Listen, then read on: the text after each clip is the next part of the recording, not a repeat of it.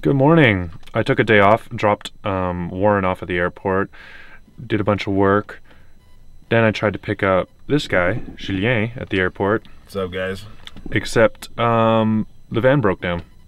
So this kind of happens if I don't film. I try to take a day off, and all of a sudden shit goes wrong. So I have electrical failure. This is reminiscent of the failure I had when I first got the van.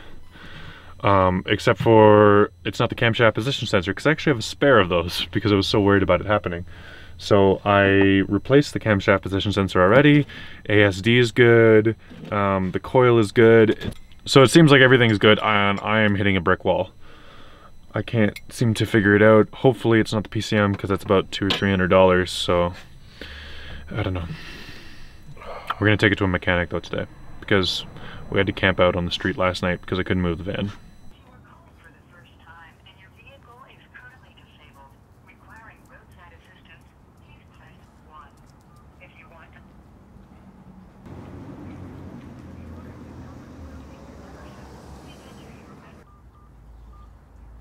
Please hold while we transfer your call. Your call may be monitored or recorded. Okay, I'm glad to hear that. May I have your first and last name, please? First name is Simon.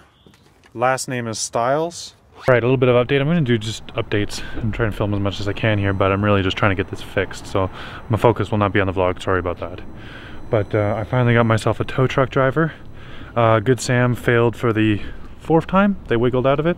This time they said that apparently I don't even have a membership, which I just bought one. Like, I don't know, nine months ago, 10 months ago. So that's great. If you're uh, thinking of getting on the road, don't go with Good Sam. They're terrible. The worst service I've ever used. I have called them four times and I've had them four times bail on actually towing me out of a situation. They failed every single time. So don't go with them. They're terrible. Um, but do go with the local tow truck driver who's going to charge me 90 bucks to haul it to a mechanic a few blocks away. I mean, it's so close, I kind of wish I could push it, but that's what happens when you live in your car. You can't do that. But uh, I hauled the motorcycle off the back, parked it behind me over here. I'm gonna put the, the rack is already inside. I'm gonna throw the mountain bike inside too, but I didn't throw the motorcycle inside. I probably could. I really probably could, but I figured it's fine here. I've got it double locked up and I'll come back and get to it later. Yeah. Get some good news, eh, champ? Want some good news? What's the good news? Champ, what is it? You're excited. Doesn't matter what we're doing. Doesn't matter how bad of a day I'm having. He's excited. Oh yeah, also, Julien took off to go pick up his uh, camper van. But check this out. He hit me up with a bunch of Mountain Hardwear. Which is, isn't that ironic? I just getting into the bouldering. And he gets a, a sponsor throwing him all this gear. So I got fresh, clean clothes, which is really nice.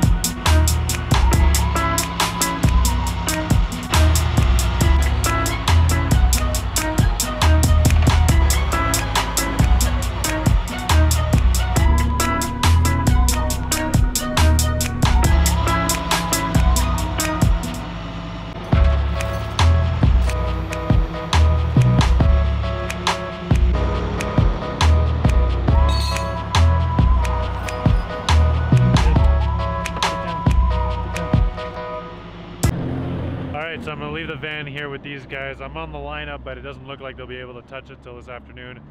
And uh, in the meantime, Julien's got his little rental from Native Camper Vans. This thing is super dope. Let me show you.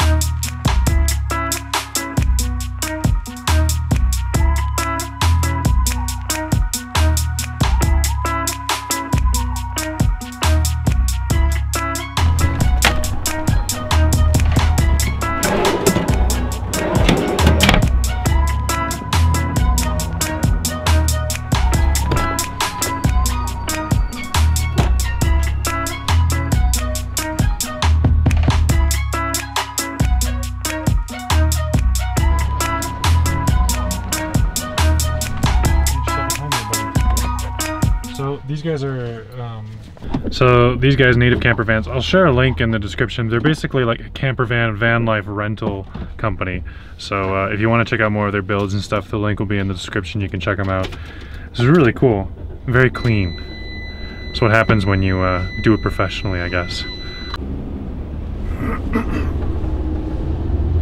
So yeah, we're not really going anywhere exciting right now because I still have to stick around my van, but we are gonna go get some lunch. And honestly, it's just kind of cool to be in a new camper van, in a self-built one. I can now see, like I didn't get it for a long time, why people would take these sprinters and build them out, because it seemed like so expensive and you don't get that much compared to just buying like a used RV one. You get a lot for the used RV ones, but feeling just the way this thing drives, you have so much more confidence. It's like the suspension is stiff, everything works. It's just like I would when I got to like the BLM land, I'd be like, yeah, let's take this thing as far as she'll go. Like I'd be totally fine with that. Whereas with mine, there's so many more variables. So I think that's part of why these are so attractive. You know what else is attractive? Delicious tacos. Oh man, I can't wait. Delicious tacos. It's gonna be a boring episode. Sorry about that. Come on.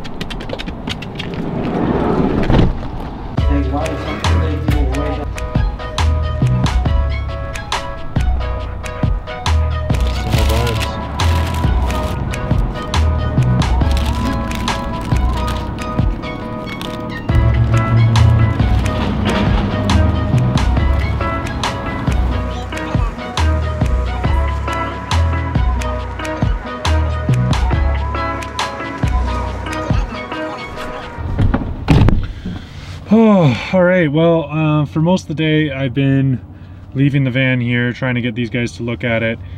And um, when I first got here, it seemed kind of promising. There was three mechanics, and they seemed to be working hard. And one of them finally got around to this. But by the time he showed up to work on this, the boss had rolled in, and the boss is drunk. So the boss is drunk. The guy who was working on it has never seen a Canadian version of this van before. For this particular year, um, the American version has a crankshaft position sensor. The Canadian one has a camshaft position sensor. At first, he seemed up with the program. He was working with that camshaft position sensor, trying to do the tests on that. And then he said he ordered a part and then left for the day. And the part shows up, and it's a crankshaft position sensor. And I tried to explain, well, there must have been a confusion because there's no crankshaft position sensor in this van. To which the guy, the owner basically told me to screw myself and that they're gonna try and jam it in the van, which I'm really looking forward to because there's no spot in the harness to bolt it in. There's a hole in the bell housing that's got a rubber cover, which they, I hope they don't destroy, but like, there's no bolt mounts for it, so it's gonna be pretty hilarious when they try to wire that one in. I'm looking forward to that. Basically, it's probably the computer, which kind of sucks because it's like a $400 most likely replacement. But the upside is is that this kind of coincided with the episodes about my phone getting stolen just came out like a few days ago and you guys have been amazing and I got like a ton of donations and Patreon's been blowing up and it's really really huge and like it's really cool that you guys care about what I'm doing and, and trying to like help me along and that's that's really big for me. And it means also that I can swallow you know a $400 computer and, and put it in. And uh, I just, I just basically I just want to say thank you. You guys are awesome. And uh, we'll get through this. I'm gonna overnight a computer and uh, hopefully in the morning we'll have it all sorted out. So catch up then